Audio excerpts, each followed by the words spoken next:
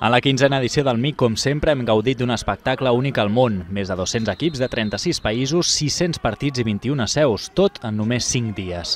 Una experiència única per a tots els joves, malgrat que en alguns casos la diferència de nivell és aclaparadora, com per exemple quan s'enfronten grans d'Europa com el Porto i modestos de casa com el Sant Ignasi Sarrià, en guanyar la primera ronda de la categoria infantil.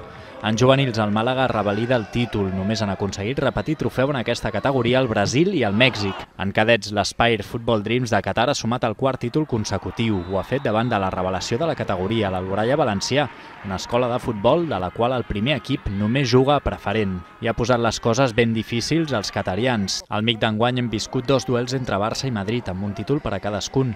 En infantils per al Barça, amb pólvora a dalt, Fati, autor de 8 gols, potència i qualitat, O'Neill, habilitat i tècnica, i amb jugadors destacats com Nico González, fill de Fran, que aquí assisteix Fati.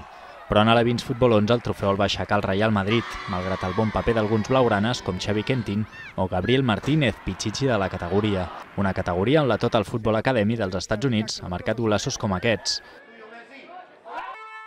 I ens ha deixat per al record grans celebracions.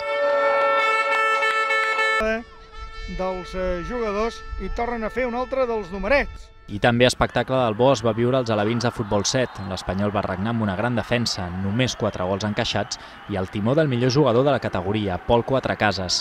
Va derrotar a la final un València excel·lent, on juguen els fills de Palop o Unai, i on dos companys, a les semifinals contra el Mercantil, ens van deixar aquests golassos. Andrés Corella ens recorda Koeman.